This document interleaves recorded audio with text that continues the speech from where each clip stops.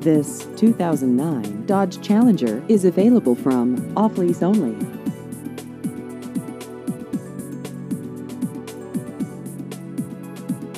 This vehicle has just over 20,000 miles.